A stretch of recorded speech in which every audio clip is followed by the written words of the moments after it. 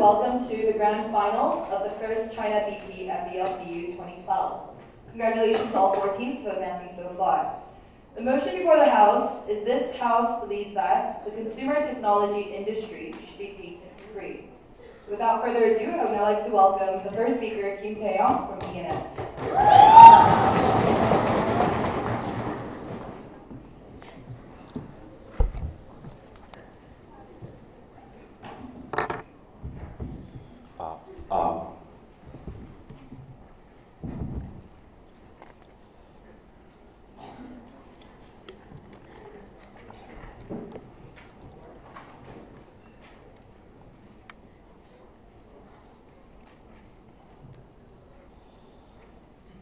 Madam Speaker, when Samsung and Apple, one of the two most prominent companies in our entire world, are fighting over the fact that their cell phones are round. When iPhone just in fact actually increases the length of their iPhone and not actually develop any particular technology regarding the development of the consumer interest, we on side opening government and BNant believe that we should actually abolish that unnecessary patents. Therefore, what we're going to prove to you on BNant, what I'm going to mainly prove to you, is when a patent right can actually be curved and why it actually brings more development to the consumer rights and to the development of that particular technology. However, we on BNant actually believe a main stance in saying that consumer technology, what we're talking about are things such as cell phones, right? When we're talking about the development of the technology, the patent fight that we see between Samsung and Apple, we believe that that kind of nitpicking court laws are actually very superficial. We believe that those court laws should actually not exist, but rather that time should be consumed for the better development of that particular technology. We see a lot of case examples in the current status quo and when patent rights are actually not absolute. Say, for example, the Fair Use Act, in where we allow professors or educational act, uh, actors to actually use and show some of the content of books or actually theses for the sake of the consumers and the forsake for the educational purposes. We believe that that is very inclined with our stance coming from the opening of government in saying that consumer technology should actually be something that we should protect and only under our motion is something that we can actually promote. So let's, without any further ado, let me go into my first argument about why patent rights can actually be curved. Because the main idea behind the patent and the principle that we propose on BNant is that the patent was mainly served for the purpose of compensating the individual for their hard work. No, thank you, ma'am. To encourage the further innovation of an idea and to actually bring public interest. We believe that the patent laws that we are currently using right now actually is bad for compensating that individual for their hard work. It's bad to encourage that further innovation of that idea and fundamentally directly contradicts the idea of the public interest. Why is that? So let's first go into the idea of what happens if an individual multi-billionaire company actually owns a patent. We believe that that monopoly actually exists within this particular company. Why is that? Because fundamentally we accept on the opening government that no one can actually bring a new particular idea when that patent is only exclusively owned by one particular company. It is even more exclusively owned by that company the moment where a lawsuit actually occurs and gives side towards one particular Apple or one particular Samsung. We believe that that is the moment where absolute rights are actually created and precedent is actually leaded to further de- further degradation of the development of that technology. And once that monopoly actually exists in today's society, is the moment where it prevents other new companies from coming into the market. It prevents other companies from bringing new ideas. Before I go on, yes, sir. So don't you see to the fact that if there's no patent for this company, they have less incentive to develop because they'll use their company's name value and their power to push their products across. No, we do not think so. And I'm going to prove to you why they actually do have an incentive to actually bring more like technology into the status quo within my own further arguments. So please wait. Let's go into the second idea about how it prevents the progress of value once you actually have this particular monopoly. Because the existing monopolies already prevent the incentive for other companies to develop because fundamentally there is no competition. If one cap one company such as Apple actually exclusively owns the right of say for an app store, then obviously it prevents this particular company, Apple, from developing new ideas and new like products because fundamentally because that Apple has the exclusive patent right, that is the moment where it creates disincentive for people to actually buy other products, but only buy Apple as a whole. We believe that Apple does not have an incentive to create that kind of technology. But secondly, and most importantly, it prevents new and smaller companies from challenging that particular idea and coming into the lawsuit and coming into that particular market. Why is that? Because the moment where a small or middle-sized company, I've already told you to sit down. The moment where those small companies actually try to come into the market, that is a moment where app, like, like companies such as Apple, companies such as Samsung actually intervene and say that that particular company and technology is invading my patent right. The moment where that lawsuit is actually created, it prevents and deters other small companies from entering in the market because fundamentally they do not have the capacity to actually fight against a multi-billionaire company, particularly in the lawsuit. The kind of compensations that they will receive is actually going to be in the millions we don't think that those small middle companies actually have the capacity to pay that particular lawsuit, which deters and prevents these people from coming into the market to begin with. But let's go on to my third idea, so, about how it prevents the interest of that consumer. No, thank you, sir. Because fundamentally, we believe that there is absolutely no progress of the ideas because there is actually no development. We believe that everyone actually has the right to enjoy new technology and the advancement of technology, but the moment where that idea is, has, actually has no development, it directly goes against the right of those consumers. But second of all, and most importantly, we believe that the people are, with, uh, are actually dependent upon the price of that company and based upon the price and the monopoly created by that particular multi-billionaire company. Because as I I've already said, everyone has an incentive to actually buy, please sit down. Everyone has an incentive to actually buy, buy brand new technology and particularly use it. If an individual multi-billionaire company has exclusive rights regarding a particular patent, then so, while the people have the incentive to buy new technology, that is the moment where people actually become dependent upon that multi-billionaire company. And if that's the case, then obviously companies such as Apple, companies such as Samsung actually have the capacity to actually control the prices. And the moment they control prices, it directly goes against the idea of the free will of those individual people, thus going against that particular consumer. No, thank you, sir. And because there is actually no competition between these individual people, there's actually no incentive for the price to, there's actually big incentive for the price to actually go up, directly going against the idea of the consumers. But why do we, why do we think on B and Ant, uh, actually a world without that particular consumer patent is actually better? Because it progresses the interest of the individual people. The distinction that we want to make with pharmaceutical companies is that if pharmaceutical companies actually create a formula to actually solve HIV AIDS. Every single pharmaceutical company should follow that formula because if you actually change one ingredient within that formula, the result is actually going to be very, very different, detrimenting the lives of the people. The, more, the differentiation with cell phones is that if you actually change one microchip or one idea regarding the cell phone, it brings a brand new cell phone. It brings a brand new idea. And because it brings brand new ideas, in that particular context, we believe that that is the moment where a patent, a world without patent, is fundamentally better. But second, and most, uh, and another importantly, it gives more incentives for these companies to actually think out of the box. Because in the status quo, Samsung and like like Samsung and Apple are fighting over the idea about a round phone. We don't think that this is very beneficial to the consumers, but even if that's the case, a lot of the companies are focusing upon that one particular patent. The moment where everyone can actually have a round phone is the moment where comparative advantage is actually decreased upon that particular idea. Therefore, if you want to survive in the market and if you want to spend a lot of money, and if you want to buy a lot of consumers, then these companies actually have to think about brand new ideas, brand new ideas that were out of the box. And the moment where out of the box ideas actually come into today's society, that is the moment where consumers are actually benefiting from the new technology that they particularly deserve.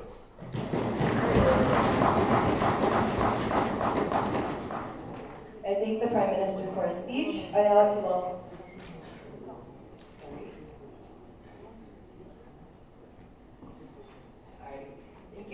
Now I'd like to welcome the Leader of Opposition, Low Kim Hong, from God Horse.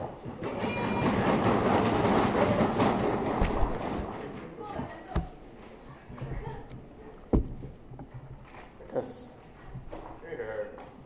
Thank you.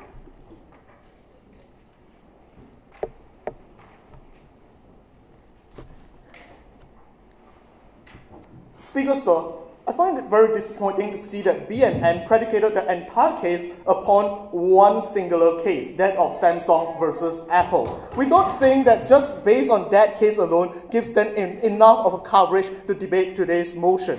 The questions, the key assumptions here are as follows.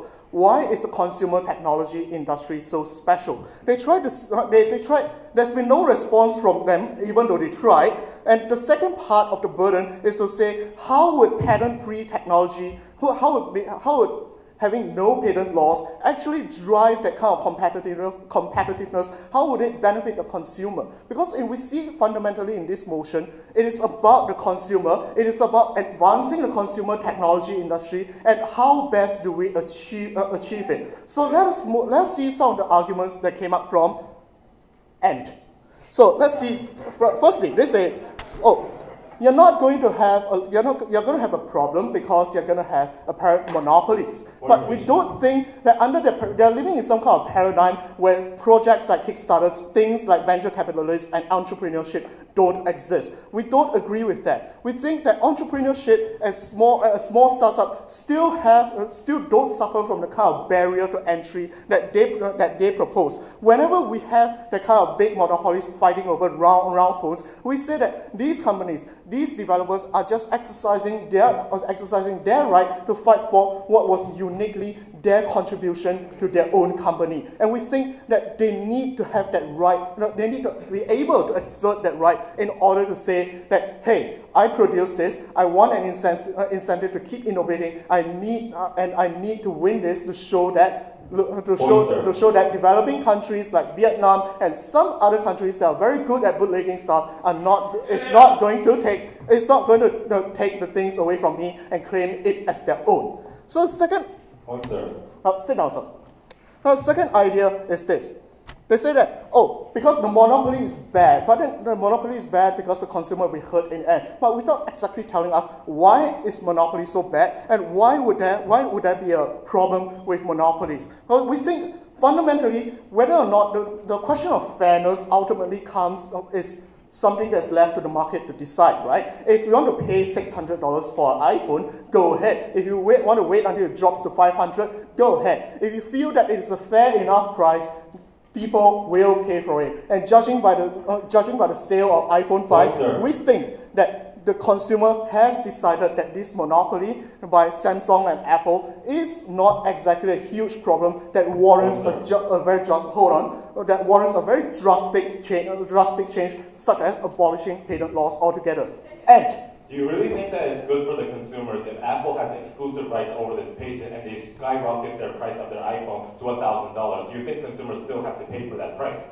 Now, if consumers don't want to pay for that price, they'll well, they'll just say, "No, Apple, your your phone is too expensive. I'm not going to pay for it. I'm going to go for Samsung. I'm going for LG, Nokia, Motorola. There's so many choices out there. Leave it to the free market to decide." So let's move on to our positive contributions to this debate. Earlier on, I've already asked the very key the very key questions here.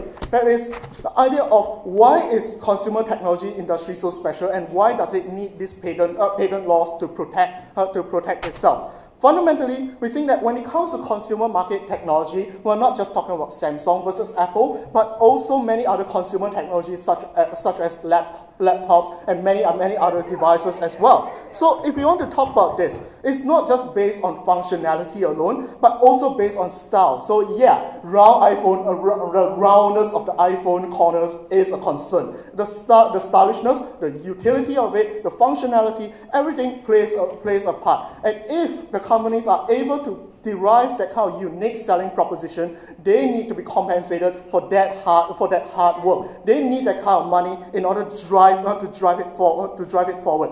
Further, we say that you need to allow this kind you need to allow this kind of monopolies, this kind of price setting to take place so that we so that achieves a, achieves equilibrium between what is a fair compensation to the, to the person who developed this technology or the company who developed this technology and to the consumers who may or may not be willing to pay for that, for that particular technology.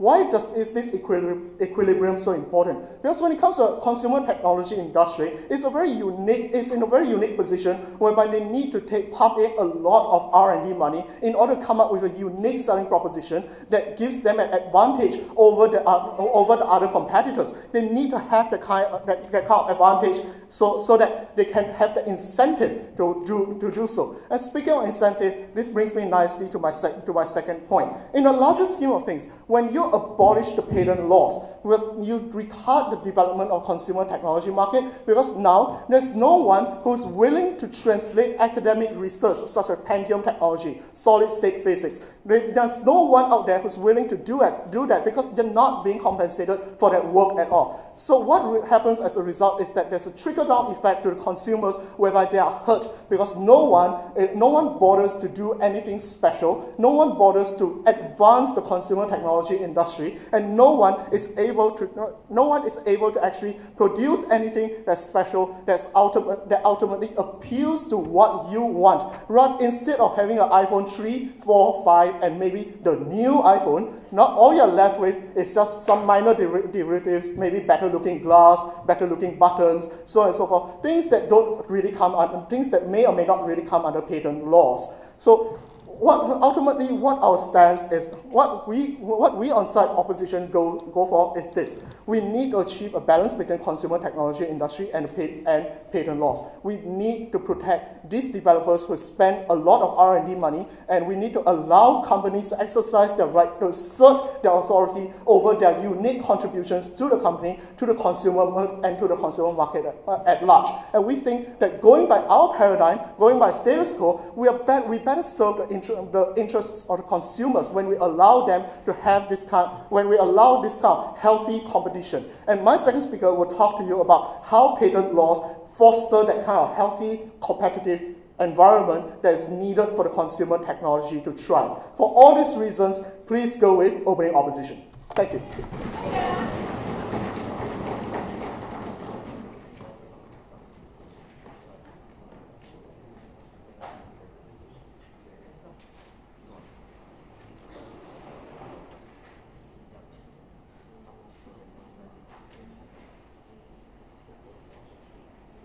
I thank the Leader of Opposition for his speech. Now I'd like to welcome the Deputy Prime Minister, Lee Yong-cho, be to the podium.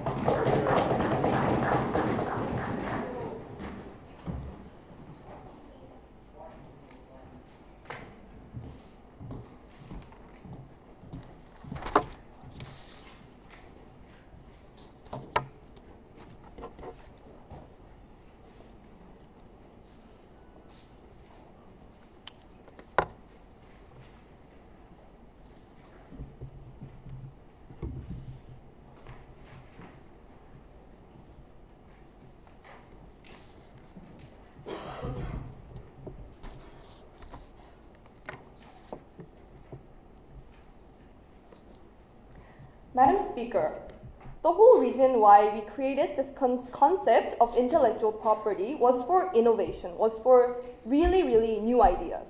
But when we look at what's actually happening, what we see is iPhone, like the only difference that iPhone 5 has with iPhone 4 is that it's a bit longer, right? And so people make these jokes saying that iPhone 6 is going to be longer, iPhone 7 is going to be longer, and at the end of the day, it's going to look like a sword.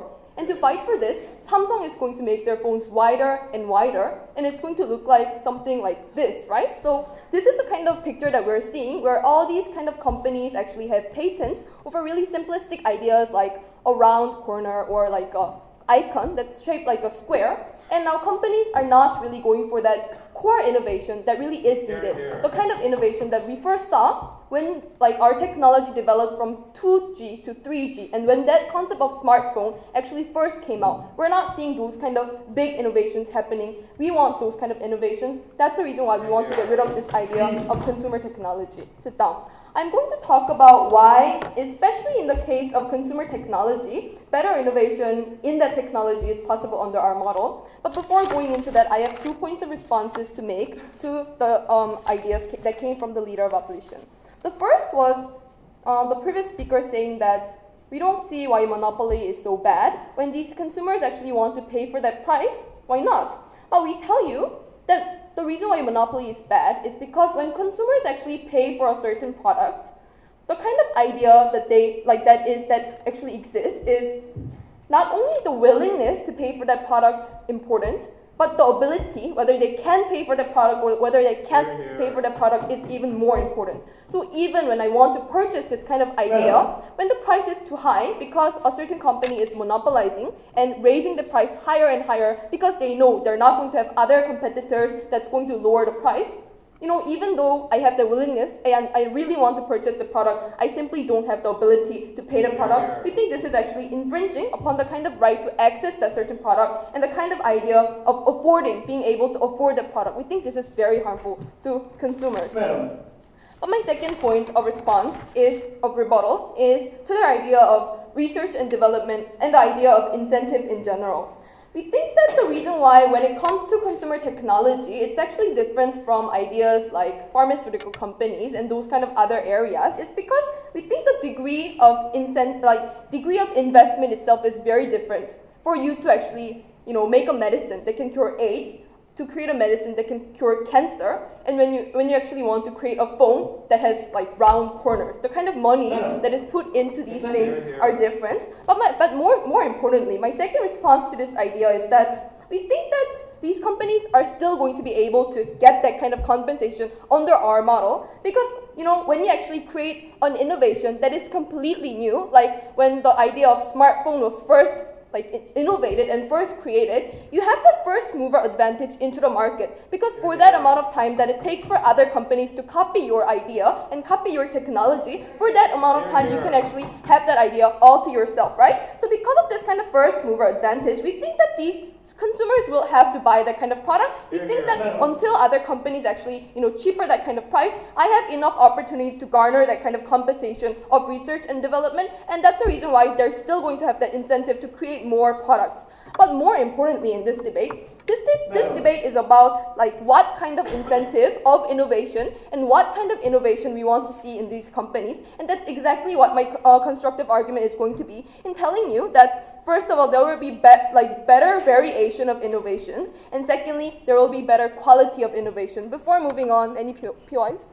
Well, yes. We think fundamentally you haven't yet engaged with the point. We don't think that most consumers have a right to luxury items. If they don't like, if they can't afford it, just go for some alternatives like Nokia. Incidentally, not Korean, but well.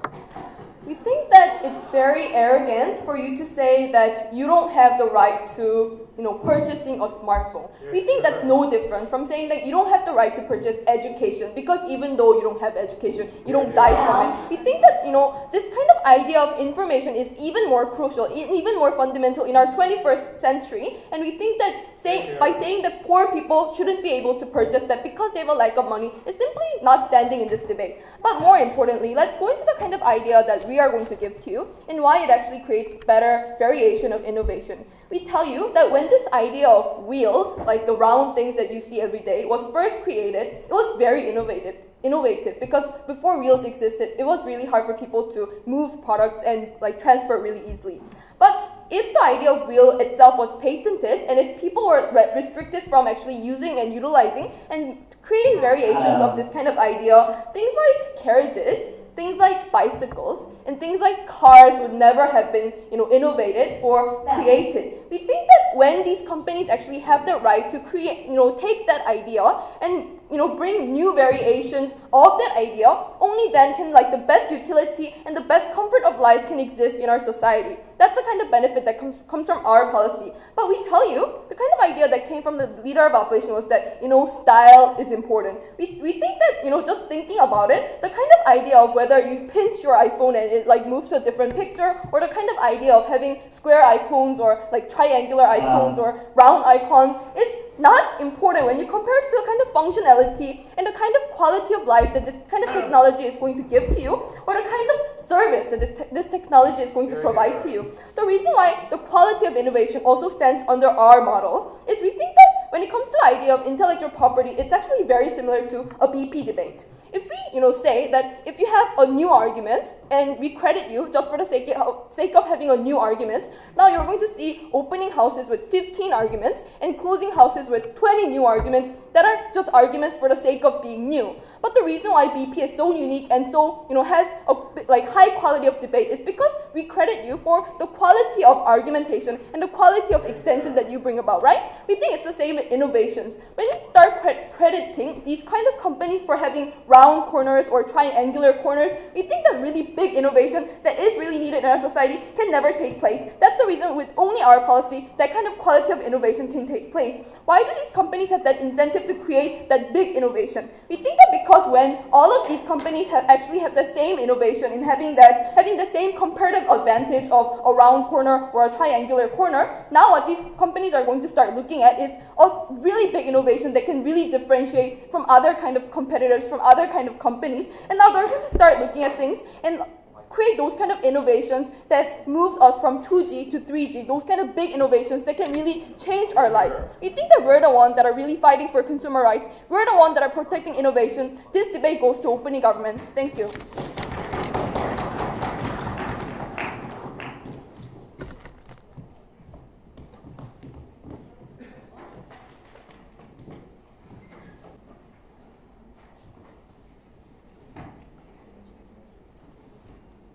Thank the Deputy Prime Minister for her speech. Now I'd like to welcome the Deputy Leader of Opposition, Maria from Congress, to the speech.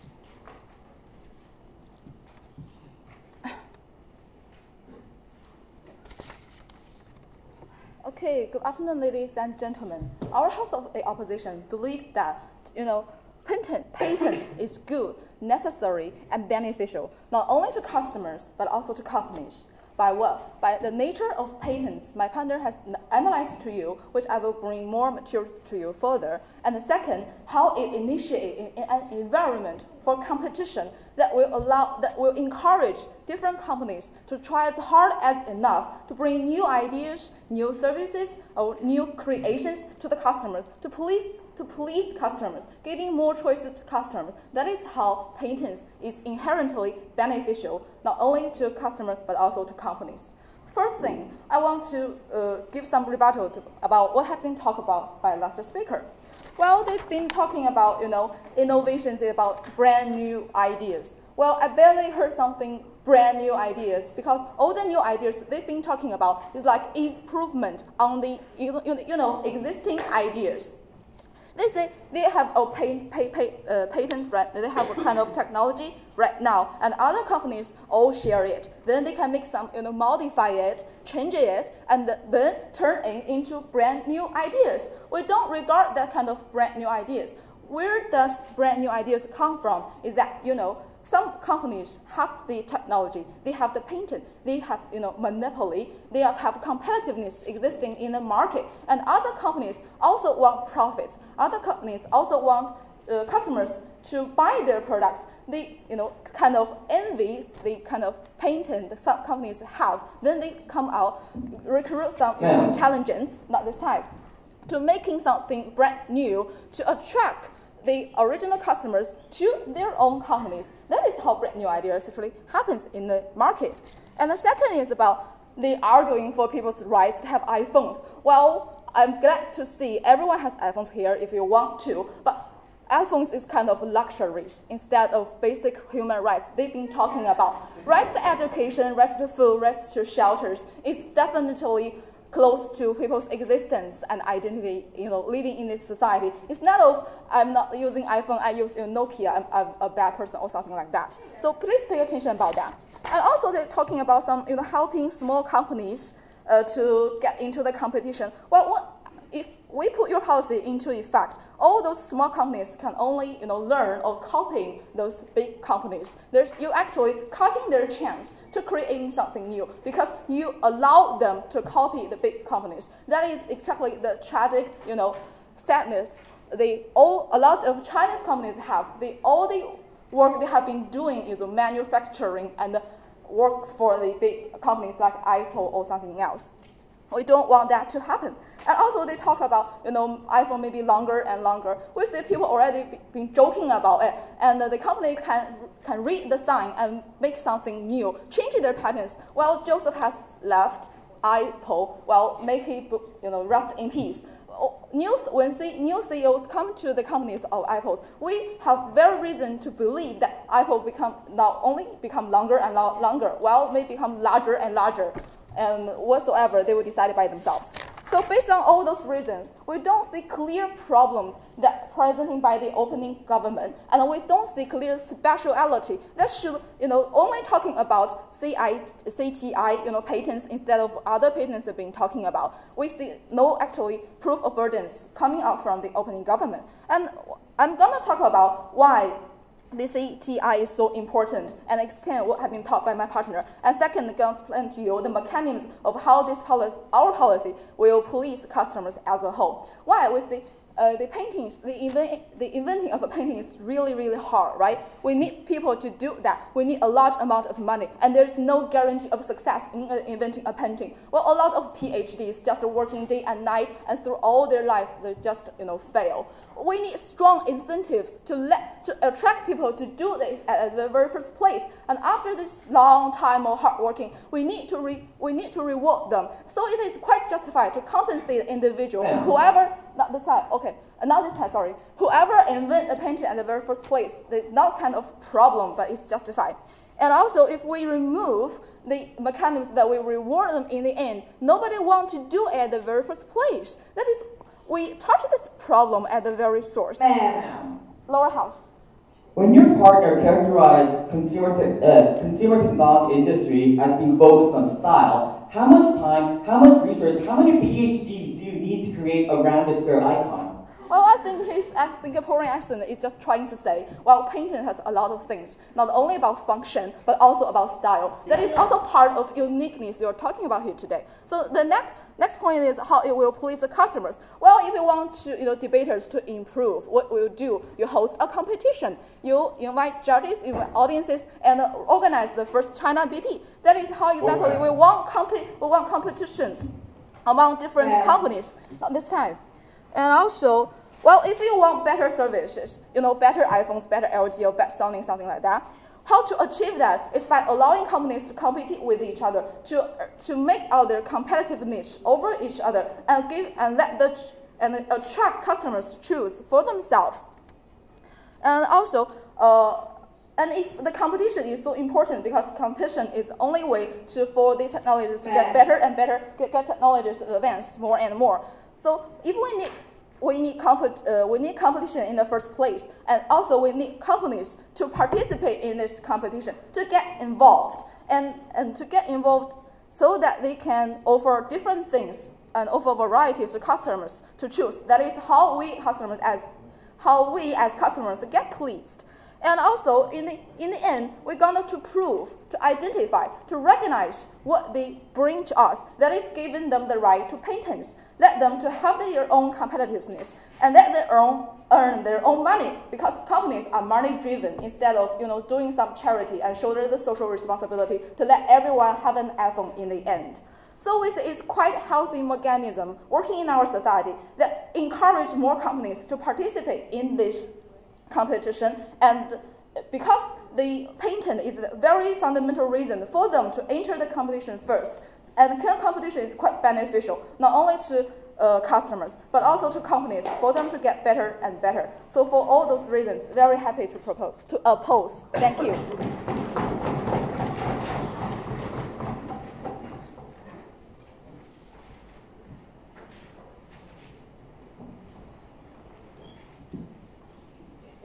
Leader Opposition for her speech. That concludes the opening house of this debate. Now I'd like to begin the closing house. So I'd like to welcome the Member of Government, Lee Won Hyuk from K1.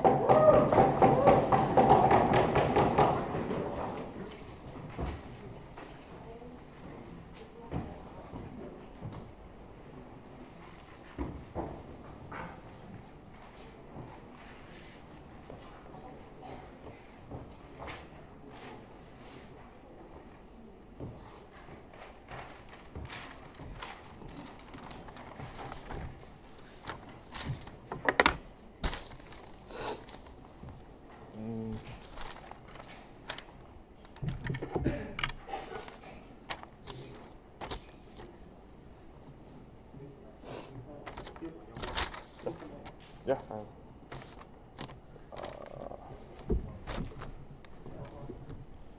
so I have to speak like this. Oh, okay.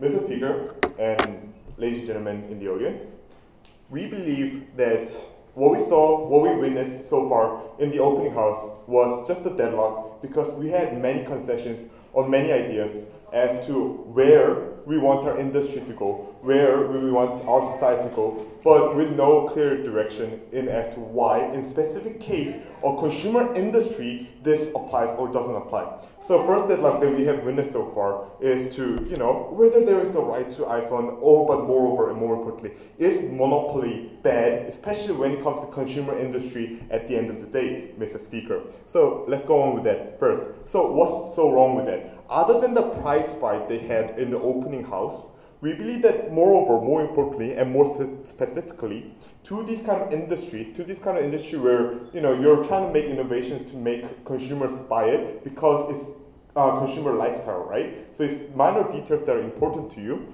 Then it is reducing the competition for these kind of uh, companies to develop these kind of characteristics at the end of the day, Mr. Speaker, which means uh, she characterized like a BP debate, so let's characterize like a BP debate. If you only had closing government as one team in the debate, we wouldn't try so hard after all because there's no opposition.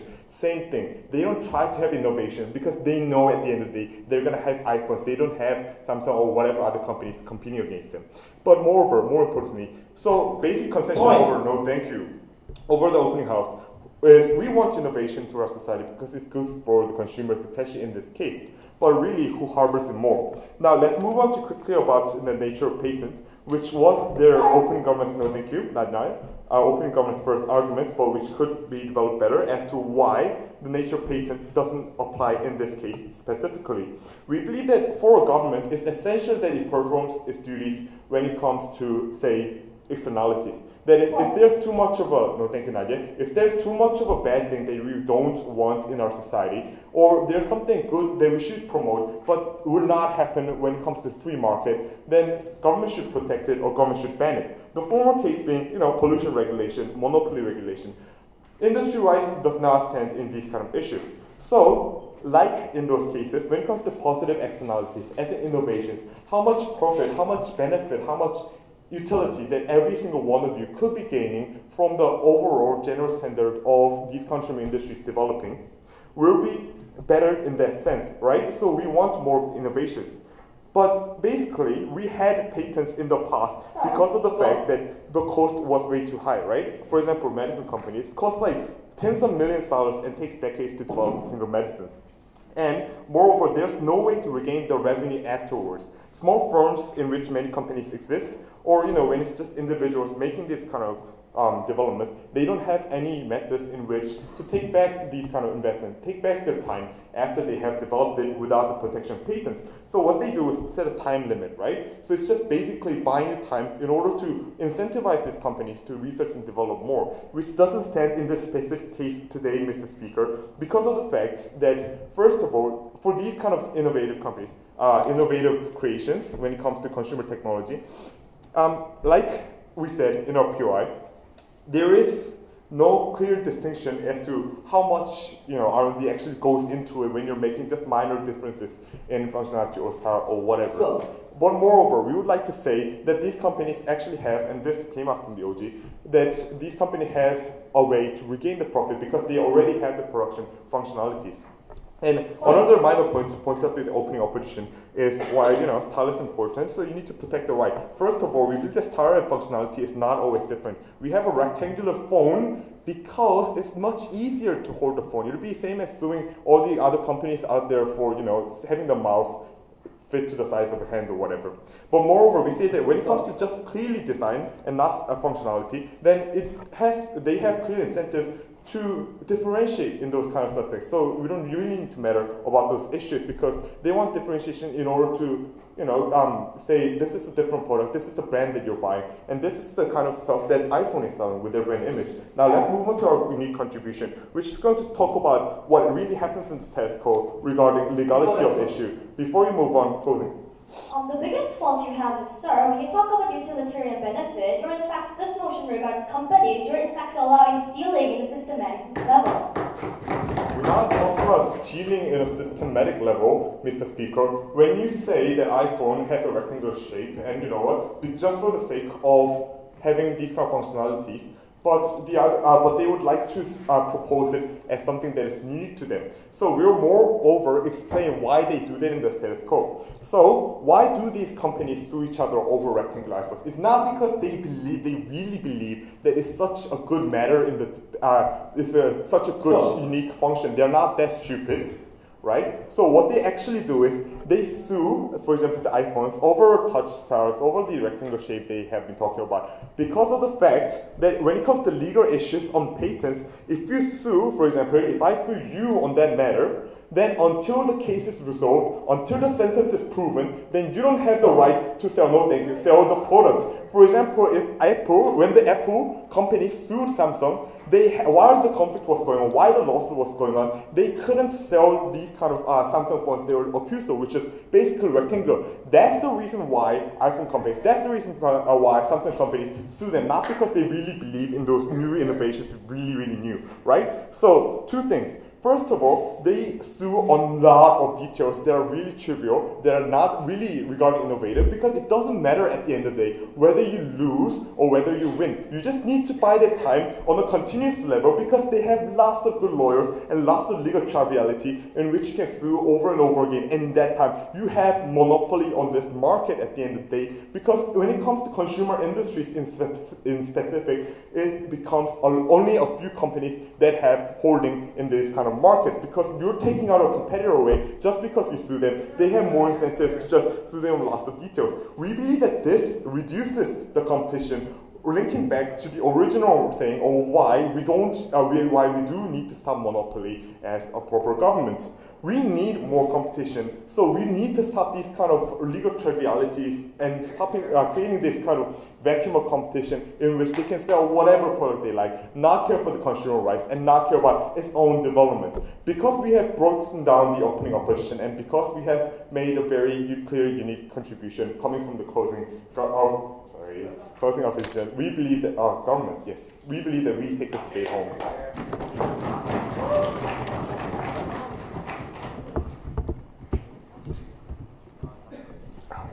Ah, how do you put it back in?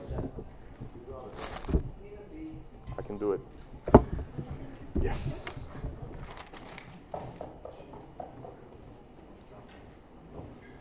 I thank the member of government for his speech. Now I'd like to welcome the member of opposition, Hagamda from KU2.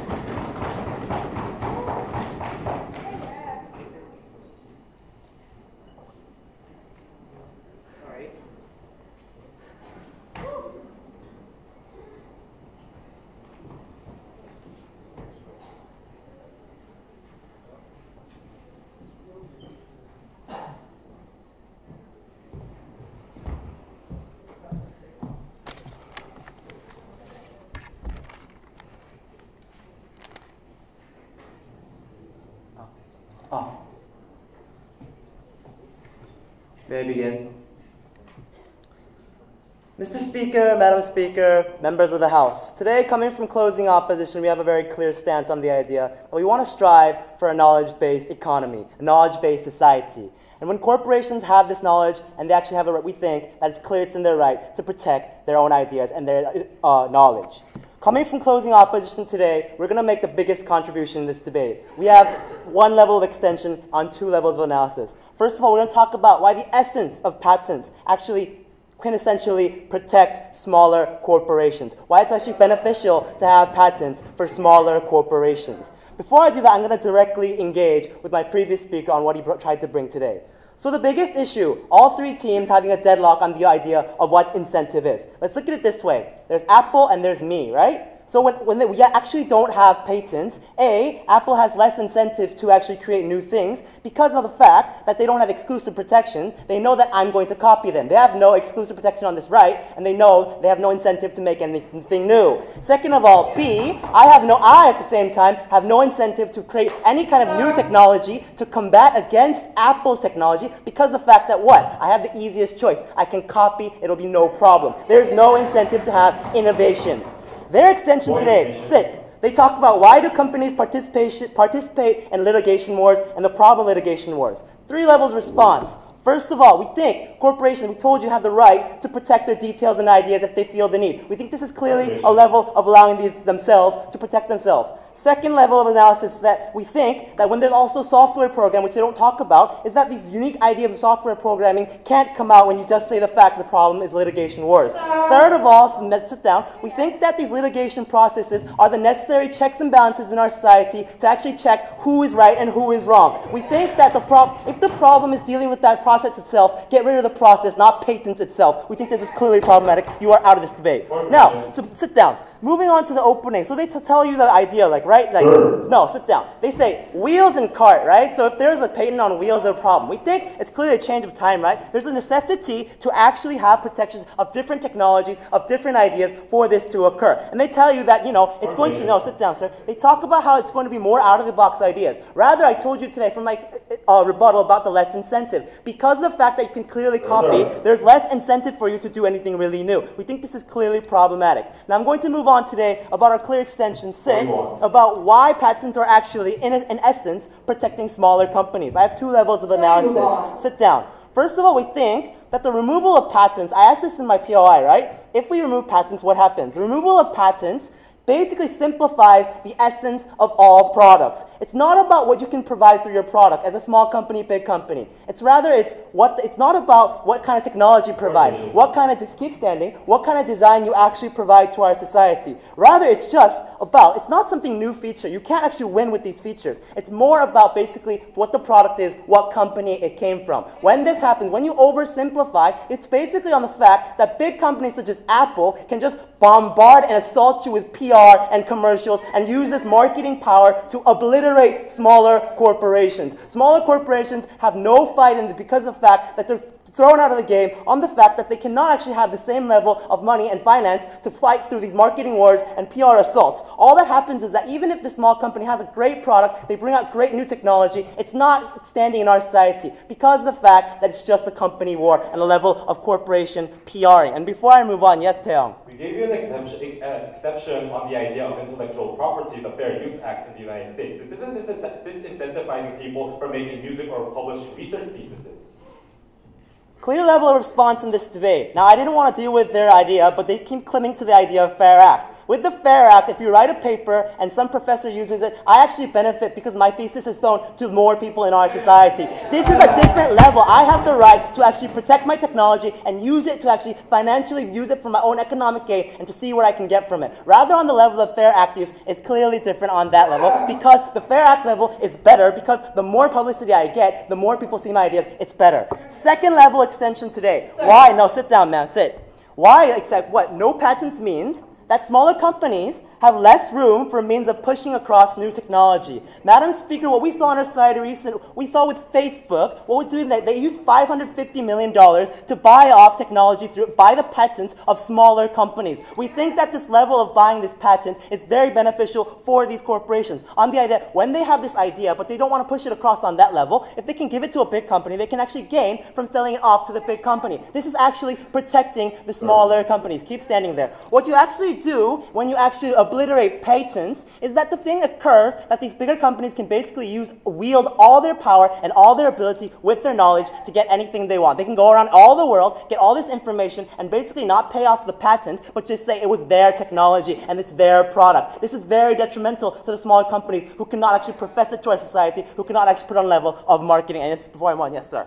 Since you didn't engage on our extension, how else are you going to protect patents if you don't have legal procedures?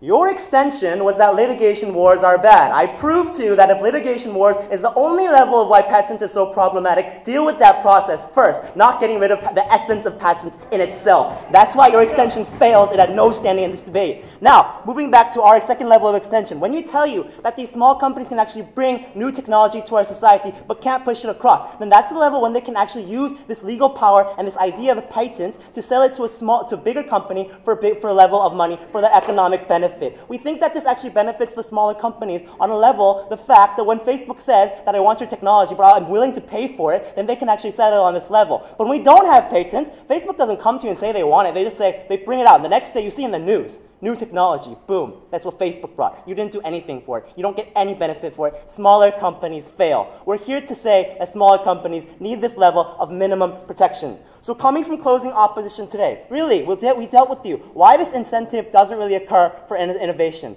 Big companies don't see the fact that they have any advantage for exclusive protection. They're just going to sit there and use their money for marketing power. On the level of smaller companies, you, feel that there's no incentive to, for you to bring anything new. You can just simply copy. I'll be copying Apple. I'll be fine with it. Our extensions today about why patents, in essence, protect smaller corporations. First, on a level of how actually it doesn't simplify every single product. If you have these patents, if you have these different ideas, you can't actually just win through marketing work. You have to prove your product. Second level of extension today we brought you to this house was why these patents actually protect the small corporations on a simple economic level. If I have that small piece of technology, I can sell it to, I sell my patent to Facebook, reap benefit from it. This is why we're here to uh, strongly oppose this motion. Madam Speaker, it's clear today that closing opposition takes the first. Thank you.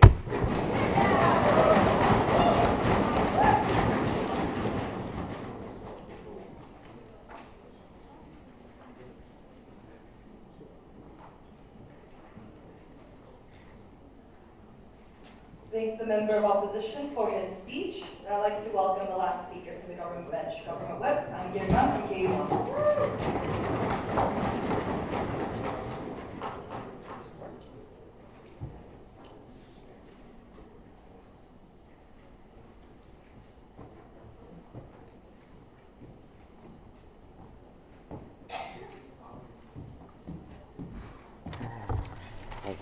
Day.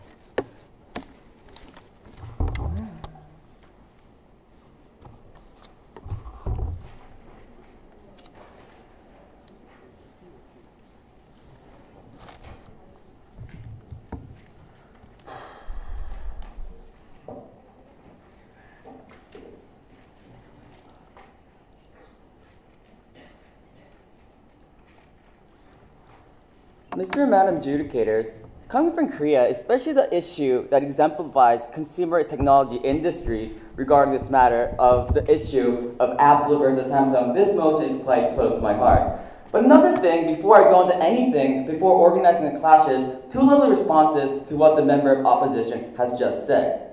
He claimed that in case of patents, when we don't have patents, that smaller companies will be harmed. Furthermore, that the problems coming from our extension is basically the fact if you have problems, just get rid of the, the, the, the legal system takes such a long time. We believe on a first level, the reason why you have all these litigation wars, the first reason why you have all these companies, big corporates such as Apple and Samsung abusing is because patents exist. When you have patents, it's an inherent nature to sue them, just for the hell of it, for whatever reasons and whatnot. Your response is clearly irresponsible, providing that you need an alternate mechanism that still protects patents, but as well gets rid of the harms that we have just brought about. We ask the opposition whip to answer in that manner. Second level response is that you don't, you're not protecting the smaller companies. Rather, the main reason in today's society you see a nearby polarity regarding smartphones with Motorola, Nokia far, far behind is basically because of these patents. Basically because they can't keep up with them. Basically because these patents block them providing anything new to their current technology. With that said, let's take, let's take a look at today's clashes.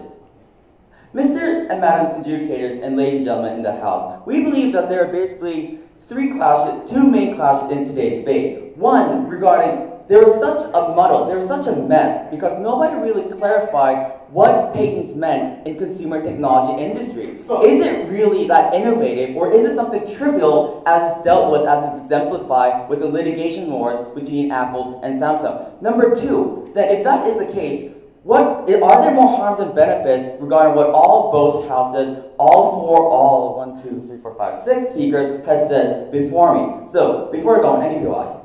Yes, sir. We don't think that that is the crux of today's debate. Fundamentally, no one has dealt with overwhelming opposition's idea that patent laws exist to achieve equilibrium between compensating the developers fairly and also allowing consumers to pay for it with the amount of purchasing power they have. Mr. Adjudicators, Madam Adjudicators, basically what they're saying is that patents are important, right? But the question is, coming from the characterization of the old leader of opposition, he claimed that patents, especially in consumer and energy technology, isn't something as functionally innovative, but it's rather a set nature as we characterize regarding the usefulness of how it fits into consumers, how it efficiently makes them utilize it, meaning it isn't that much of an innovative technology such as transition from 2G to 3G 3G, such as innovative transitions from having Pentium 3 to Pentium 4 and whatnot, but rather, let's take a look at the patents that are being dealt with in today's society by Apple and Samsung.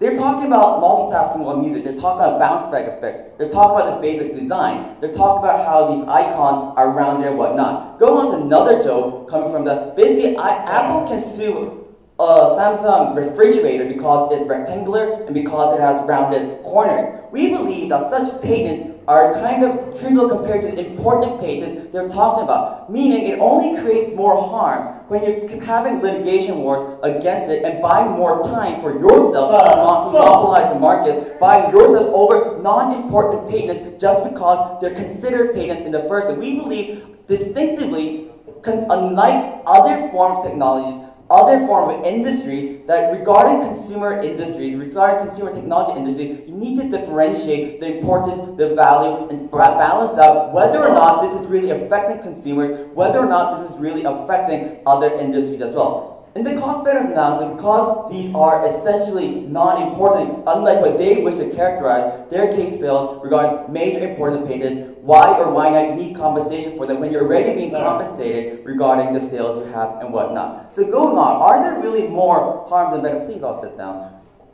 With regarding the harms and benefits regarding the major harms, the major benefits they claim to be is the normal argumentation you can guess when you have re- motions regarding patents. Basically, they're saying you need, first of all, comp- compensation for the R&D you put in. Second, you're talking about protecting small industries when we have clearly told you in my rebuttals that it's based the fact because you have patents that smaller industries, smaller companies cannot come in, they can't even provide generic methods to utilize these technologies and promote their own products. Second, they talked about how it's very harmful because you'll be bombarded by PR, you'll be bombarded by Apple's brand image and whatnot. Very clear example regarding this is when the new iPhone 5 came out, sales actually dropped. People weren't that stupid enough. Consumers weren't that stupid. They were rational enough to decide, oh, Apple, I'll just buy it. It wasn't the fact. They actually clearly analyzed whether or not there were more new innovative technology worthy of spending $600, $800. They actually analyzed the fact because there wasn't anything new that they show that they aren't simply bombarded. They aren't simpletons because it's an Apple product, because it's a Samsung product that you'll just buy it. We believe that their argumentation fails because we have trust in the consumers to decide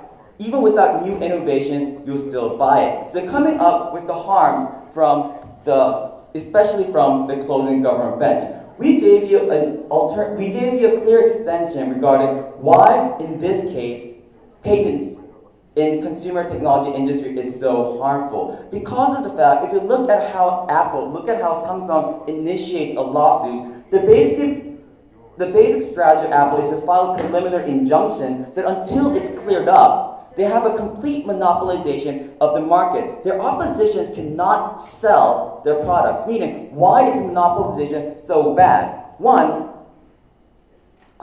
sorry.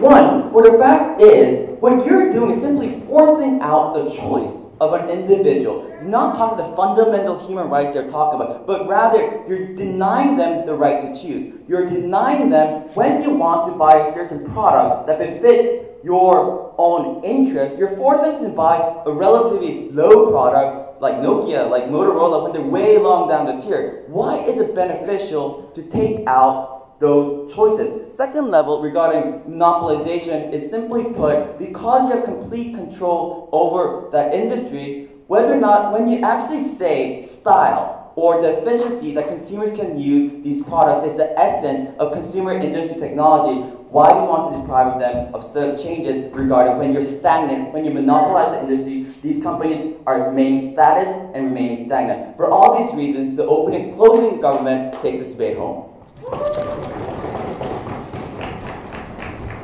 No, I can do it. Thank you, Government Whip. Now I'd like to invite the last speaker of this debate, Opposition Whip Tae Dong-hee from KU2.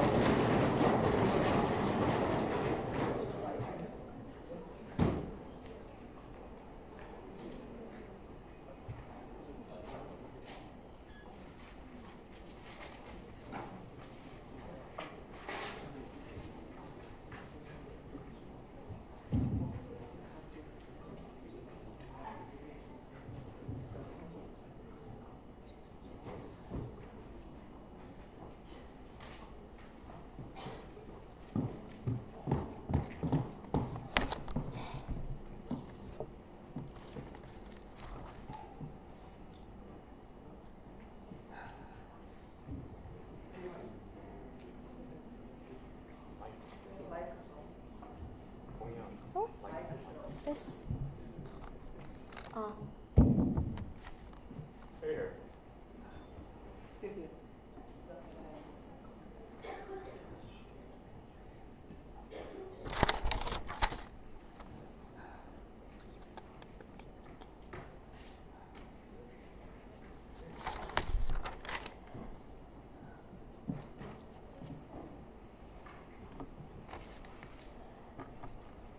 Mr. Speaker and members of the House. Clearly, opening government doesn't know what patent is. Clearly, closing government doesn't know the burden of this debate. We believe that rather than talking about how Apple is better than Samsung, how we like the concept of wheels because it you know, allowed other things to be developed, the clear context or the burden of the debate is that what good comes out of this concept of patent?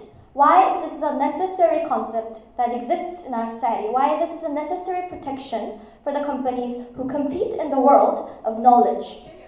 We believe this burden was only fulfilled by closing opposition. So, as the last speaker of today's debate, even though Youngjae did a wonderful job of winning this tournament, I'd like to do two things. Firstly, what a patent is, how both sides disagreed upon this concept. Secondly, what happens once we uh, allow this policy to happen. So, firstly, moving directly into my first clash. Firstly, what is a patent? Now, opening government comes to, comes up to the podium, despite all their long prep time, tells us that no one can own anything because everything else is occupied. Sit down. We tell you, Mr. Speaker, a patent is a very, very legal and specific concept. So when you have a very, very new program, when you have a very new technology or a very distinct characteristic within your, uh, you know, gadget, that's what companies apply Yeah. for patents. So when you have like Apple home home button, that's clearly a very new concept that's developed by Apple, right? When you have Samsung who has like dual core system that's only developed by Samsung that allows faster wide row, then that's clearly something developed uniquely developed by Samsung, right? So for them to come up to the podium and say no one can own cell phones because it's already occupied is completely false. Why? Because patents only protect a very very specific technology. We tell you you really need the technology to develop something new is completely false. Sit down. Secondly, Mr. Speaker, we tell you, even with these necessary protections, innovation keeps going on. Why? Because let's see the example of, you know, I keep talking about Apple. Apple, right? They first developed the concept of smartphone, yet, you know, the Google comes up with Android, a new system, a really new innovation within that existing concept. People keep developing new technologies, new unique technologies. We say that the development continues. Why? Because we say, you know, patent discourages people from ripping off ideas, encourages people to come up with new ideas with a concept called monetary compensation. We say that, in fact, if you want more innovation, you're in fact uh, supporting us directly, right? So, secondly, let's move on to the concept of what we're talking about within the uh, legal con- content called patent. We tell you, Mr. Speaker, patent is in fact stopping people from stealing things, right? Pa- in the past, we had the police doing that. Why? Because the thing that companies used to earn profit was actually a tangible thing. Rather, in the human society that we're evolving into, that idea itself becomes the profit. We tell you that's what we mean by knowledge-based society. That's why we invented the concept of patent, because we simply do not believe that it's legally and morally correct for companies to rip off what others had and steal it to use it as their own profit. We tell you that concept was something that was never engaged by the government as a whole. Sit down. Let's, let's move on to my second uh, clash, which was more important uh, in, in our regard in terms of this debate. What happens exactly? Firstly, opening government told us the idea of monopoly, because a lot of the big companies will only succeed without any elevation, to be fair. Sit down, because these companies would be able to control the price. Firstly, Mr. Speaker, Madam Speaker, we think that that's simply not true. Why? Because we see different companies with different patents competing in the field of consumer technology because we are living in such a developed world. Technology keeps continuing to develop. Technology keeps being invented. Therefore, different companies simply are competing in the status quo, even within the barriers of uh, patents. We tell you, therefore, that's why price control will never happen. Secondly, and more importantly, Mr. and Madam Speaker, what is so wrong with monopoly when that's something that these companies, you know, oligopoly, when the, it's something that these companies earned for by developing good quality of goods. We tell you because it's oligopoly, like different multiple billionaires competing, price control doesn't happen. But more importantly, it's something that these companies, if they worked for it, they deserve it, right? Because you never explained what's bad about it. Closing. Ma'am, regarding patents, when you have four different, nine different nations give out different judges, how can you state as a commonly accepted Stop, concept stop, idea? I'll explain that. Secondly, in terms of first mover, mover advantage, Mr. and Madam Speaker, I don't think it stands. Why? Just because Youngjae steals my cell phone five months after I buy it doesn't mean he's not stealing it, right? We think that that concept of stealing still exists. So let's move on to what closing is, you know, hoping for, the concept of litigation. Firstly, Mr. and Madam Speaker, we think that they're not directly engaging or co- explaining to us why oh. pa- patent, sit down, patent itself is bad. Why? Because what they're explaining is the term called litigation, why it's ineffective in certain nations in certain cases. That does not prove that patent itself has huge harms. But secondly, more importantly, we tell you, we've explained to you, Mr. and Madam Speaker, sit down, I'm not taking any more POIs. We think that they, we, we've proven to you why removing patents itself has greater harms than the process of lax litigation. But secondly, more importantly, Mr. and Madam Speaker, we think that litigation is a necessary protection that exists. Why? If somebody reaps benefit out of something that they undeserving and undeservingly had, we think that the protection is necessary in many, many cases. For, so for them to come up with one small example is simply not true. And lastly, if you know litigation was truly a very, very petty and un, unnecessary one, we think that the process will end quickly. So no harm for you. So let's move on to the only harm existing in this debate.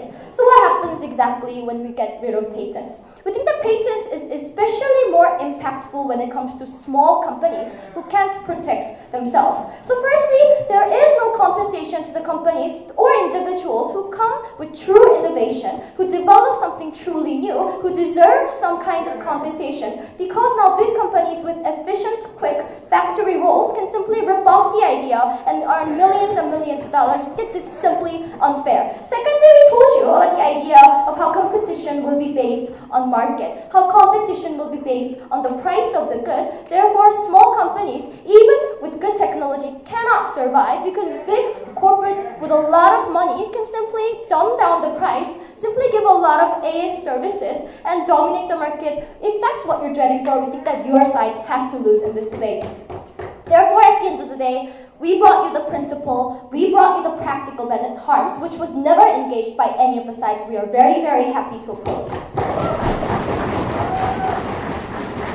Alright, Ladies and gentlemen, this concludes the grand finals of the first China BP FBLCU 2012. Debaters, thank you for a wonderful debate. Please cross the floor and shake hands.